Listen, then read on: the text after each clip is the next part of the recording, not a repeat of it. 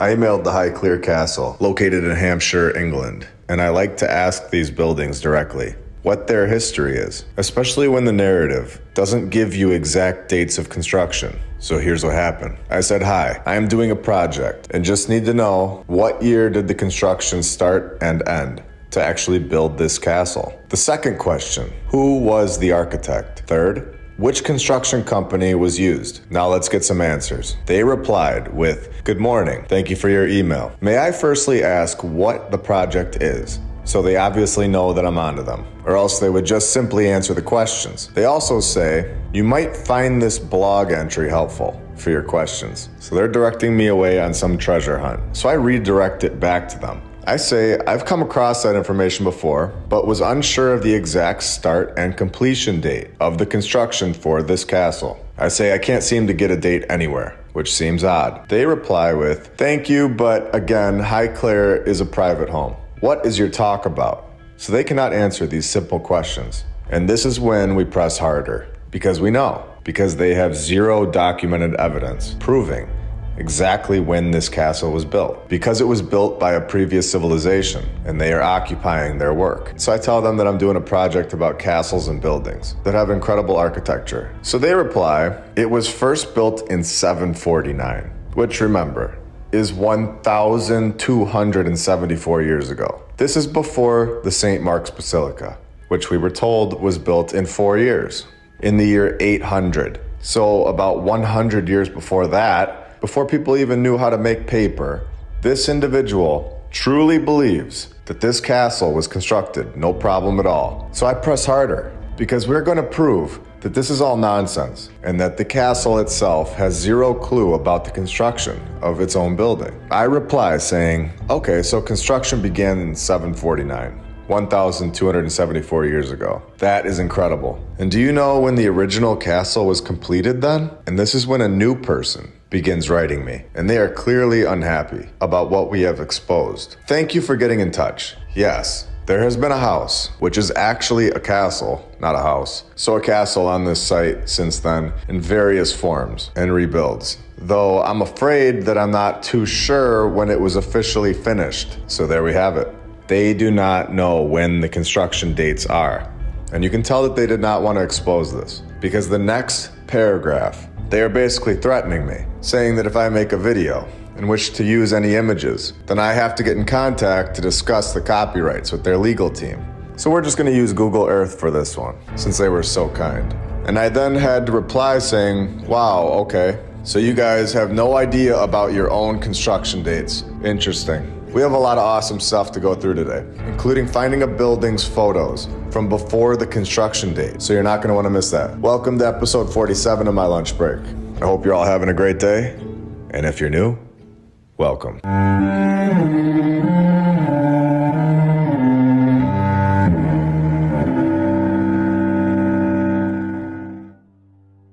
And I want to thank all of our sponsors over on Patreon. Thank you to flatearthdave.com. You can check out his app. I'll put the link in the description and you can use my referral code MLB. The app is awesome. It shows a lot of videos that are really hard to find. They've got them all in great playlists. He also has my lunch break on the homeschool section of the app, which is really cool. Thank you for that. Thank you to Rebecca Kay, Don Gaston, Jason Brunson, Christopher Arietta, Maddie Kevs, The Lady Lacey Show, David and Sherry Ferguson, Edwin Johnson, DJ Clicktrack, Al Chen, Chuck Templeton, Dale, Edwin Rice, Joy Lee, Leslie Pipkins, PNR, Stephanie Nolan, and the Burlesons. You guys are all awesome and helping this channel out a lot. Okay, so I said in episode 45 that I was going to cover this St. Louis Art Museum that I went inside of. I had some other things that I needed to talk about in episode 46, so let's get into it right now. Let's go inside of a building that was built by a civilization before cowboys and Indians. A civilization that had incredible tools that we could only dream of today, that was able to construct massive cathedrals all over the world. Let's go inside their building and fully understand that they constructed this building. And I think that it's time that everyone knows that these incredible buildings were not built by our timeline. And our narrative is lying when they say that people that were uneducated were able to build these insane projects in less than five years, all during the exact same time for some random fair, and the buildings were so worthless that they could just knock them all down right after, which is the complete opposite of the truth. They are attempting to degrade this incredible construction and pretend like it was so easy. Yet our civilization can't even build a sidewalk that lasts for 20 years. For anyone on the fence or anyone new to this topic, get ready to have your mind blown and see what the previous civilization was all about. So let's just go right into the basement. I don't even want to wait around. We have what they call the Stone Sea, where right here in the narrative, as a side note, they say the artist fabricated 25 arches, each measuring 10 feet high. He fabricated them? What a bizarre choice of words for a supposed construction process. This is one of the weirdest things I've ever seen in my life. It's literally just sitting in this weird confined area that nobody can even really see anymore because they have built this new part of the building around it, hiding it from everyone. And they even have the blinds pulled down inside. So you wouldn't even notice them if you didn't know what you were looking for. It's weird. It almost looks to me like these are charged magnets, pulling an energy from the earth. So let's continue with the narrative. Where the supposed artist of these stones says that he was really trying to get underneath the skin of this place, to look beneath the surface of the site to what's there. The courtyard is being used in effect as a window into the ground. There is something strange going on here for sure. He continues on in the very next paragraph to say that bedrock isn't this dead, static material, but it is something that is alive and moving. He said he wanted to reveal some of that fluidity that is in the ground. Now, in my opinion, Gladstone was briefed on this technology and some of the things that it does, and was pinned as the artist. If this is true, that these are pulling an energy from the earth right here in St. Louis, then we are just getting started with finding out what the past civilization was capable of and what technology they were really in possession of. The situation that these things are in, these things are 100% still operational. They still work. And I'm going to prove this soon. And this is why they have boxed this modern structure around them so that nobody will even really notice that they are there. They are clearly not just art. They have a purpose and they are the past civilization's technology.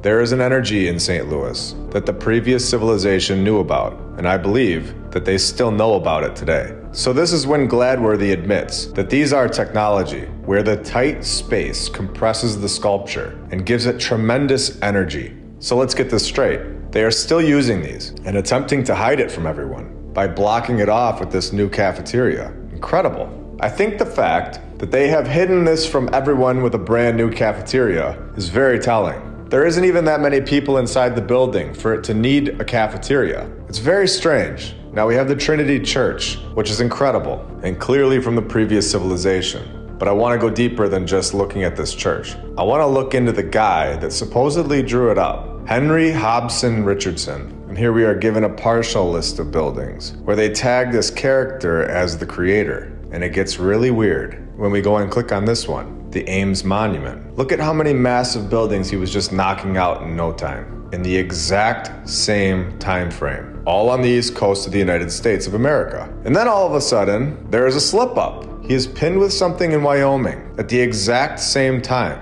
And what do we have here? A pyramid, of course. And let's see where this thing is located because this is where things get very strange. Let's all take a look at this thing together, using our knowledge on the topic, using common sense and facts, remembering what the AI, ChatGPT, has told us about logistics. Here we go. Remember, he was not even close to Wyoming in 1878, 1879, or 1880. He was in Massachusetts, building the Sever Hall in 1878, building the Oakes Ames Memorial Hall in 1879 to 1881. So he knocked that one out with ease in just two years. It's very simple stuff in the 1800s when today this project would never be completed in less than 24 months. And we all know this. Oh, and how could I forget to mention that Sever Hall was also built in less than 24 months? Insane. He was also off building the rectory for Trinity Church in 1879 to 1880. So this one took less than 12 months. This isn't possible at this point. And we all know this. It's not even close to possible, actually. But because this is what they're telling us, let's keep going. He was also building the F.L. Ames Gate Lodge in 1880, which also wrapped up in less than 12 months. I think this guy deserves a statue and a holiday. This is incredible and a total lie. Stony Brook Gatehouse in the same year of 1880. Took a solid year to complete, which is probably the only one that would make sense that it was built in a year if he had no other projects going on at the same time. But he did. Thomas Crane Public Library, also in 1880, built in less than a year. Very easily, since he, of course, had the supercharged horses and wagons, the twin turbo stallions, and he also had time to knock out houses for people. The Dr. John Bryant House in 1880, and there's no photo of this place, but here he was in New York as well. Building the Albany City Hall in New York in 1880. And this one took a lot longer and was a struggle, taking a whole three years to build. How pathetic in the 1800s. No wonder we don't get a day off for work for this guy. Oh, now I know why it took him so long to get this thing done in 1880. The building was destroyed by a fire. So wait, oh, so they did get it done in less than a year originally. But the fire destroyed the whole thing. And a new design by Richardson was commissioned, of course. The cornerstone was laid by the local Masonic, uh, oh, did I say that? Fraternity in 1881. So they got this whole building all cleaned up and out of the way so fast in 1880 that they were ready to lay down the cornerstone in 1881. All the plans were ready to go. Very simple and easy 140 years ago. The building was completed and opened in less than 24 months. Winter was not an issue, of course, so yeah, just knocking out massive buildings very easily. And of course, we get this fire story in there, which we all know what that is by now. If you are new here, you will enjoy learning about the fires throughout the first 46 episodes. It's a clear giveaway that the building is from the old world, a nod to their group. And right in the middle of all these incredible buildings that he is throwing together at rapid speeds, construction that we have never seen in the history of our lifetimes and never will see because it's not logistically possible. And we know this. In 1879, I guess he had some spare time to get out into the middle of Wyoming in the 1800s to build a random pyramid, which was built to last forever. This is not logistically possible in itself, let alone with all these other buildings being built at the same time. But let's keep going. We have more reoccurring names, which we all know about at this point. Oh, and did I mention we have a photo of this thing from May 6th, 1869, which is 11 years before it was said to be constructed. And they state that it was built by the Union Pacific Railroad. Uh, yeah, that couldn't be any more contradicting. How is that acceptable? I personally could never look at this kind of information and fully trust the mainstream history ever again. It honestly is fairy tale stuff for adults at this point. Now, I found some really cool pictures that I've been waiting to share with you all from the 1800s, and they are very strange. They are so out of place and just totally looks like our new civilization is just completely lost in the photos. This one is from Boston on 88 Commonwealth Avenue. At some point in between 1890 and 1899, you have dirt roads. You have these people occupying these buildings that they have zero clue where it came from. And here we have a few photos of Boston in 1890. And where is everybody? I thought we were told that Henry Hobson Richardson was off knocking out massive structures for decades before this. Looking and sounding a little more strange now? We have all of these incredible buildings and no people. Why would you need all of these buildings for such a small population? You wouldn't. The previous civilization was here before. They constructed all of these buildings and they needed every single one of them. Here in Boston from the sky. It's obviously a drawing and not real from 1899. But look how the city is clearly laid out. It even has land that is perfectly formed, right on the water. Here we have the Boston Public Library with dirt roads. And of course, it's still here today, looking better than ever. Exactly like our buildings that we build today. Oh, no, not like our buildings today. In fact, nothing like them. And then I went on to the historic New England website, and they have a page called Old Boston, which is pretty telling in itself. And the description here says these are five images showing the development of Beacon Hill from drawings by J.H. Smith, made on the spot in 1811 and 1812. The guy is depicting horses and wagons with nothing around and a huge mound that looks to me like they've dug this massive structure out from underneath the dirt. And this is one of the strangest pictures for me. It's from 1840 in Boston, where the population was only 93,000 people. And right before this photo in 1839, what do you know? Boston's lunatic asylum was established. Check out episode 13 if you're interested in that topic. Very interesting stuff. And people look so out of place. And they look like farmers. Nothing against farmers, but they're in a palace with dirt roads and horses. I'm not sure that I've seen many stranger depictions of the past than this one. If we zoom in on the massive building with incredible columns, we can see that it is the Boston Insurance Office. Well, we also know that this is from State Street, Boston. So let's have some fun and go even deeper. We have the four columns, exactly like the depiction from 1840. But can anyone see what is missing from the 1872 photo? Only 32 years later? Something is missing. How about the entire bottom portion of this building? It's completely covered up. And the top of the building is also changed. So someone went in here and did something to these buildings and this area between 1840 and 1872. In 1862, we get the Boston Educational Commission to make sure everyone is being told what to think. And here we have the National Theater in Boston, where in 1852 the theater burned down, but they rebuilt it, thankfully. So that 11 years later, it could just be destroyed by another fire. And we all know about the fires. A great nod that this is an old world building. So we have this picture of State Street, and then we have an actual photo of the same street 60 years later in the year 1900. And everyone is still riding around on horses and wagons. This is another photo of State Street in Boston from 1850, where there aren't any people on the street.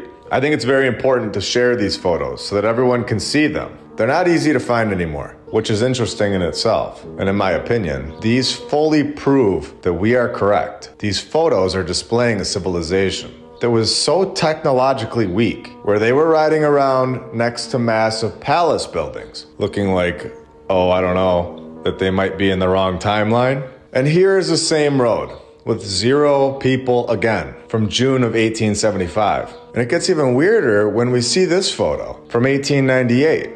23 years later, where they are digging up the dirt road with their incredible technology of shovels and wheelbarrows. And what is really going on here? Are they tearing apart the previous civilization's road that was under all this dirt, hiding? These are massive and no ordinary brick. Comment below what you think this is. I think this is a destruction process, but would love to hear your ideas. And here we have this US Post Office building which was the first post office building in the city of Boston to be owned by the United States federal government. They knocked this one down to build the John W. McCormack Post Office and Courthouse. And this is where I found that they are fully lying to us. Remember in the beginning of this episode when I said I found something massive? Are you ready to see what I found? Here we go.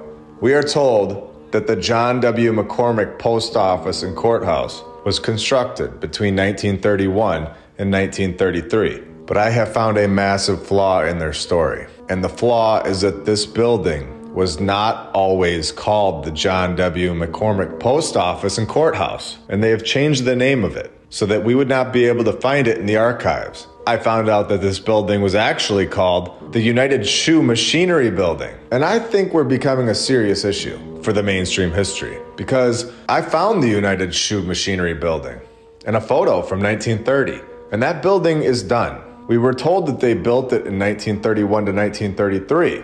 And I didn't just find one photo, I found a lot of them. And this is incredible because this proves that we just need to go find what the building's name was before they say that they founded it. And it will then appear in the photos that predate the mainstream timeline. These buildings are older than we are told. And I think we found something massive today. And not only did they change the name of the building, but they have also changed the name of the street, with it being located at 50 High Street. And now the building has that street address erased from the side.